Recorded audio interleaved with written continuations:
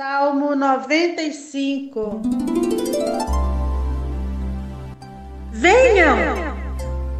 Cantemos ao Senhor com alegria, aclamemos a rocha da nossa salvação. Vamos à presença dele com ações de graças, vamos aclamá-lo com cânticos de louvor.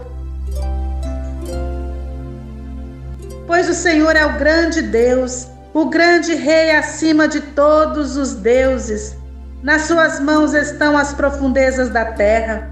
Os cumes dos montes lhe pertencem. Dele também é o mar, pois ele o fez. As suas mãos formaram a terra seca. Venham, adoremos prostrados e ajoelhemos diante do Senhor, o nosso Criador, pois Ele é o nosso Deus e nós somos o povo do seu pastoreio, o rebanho que Ele conduz.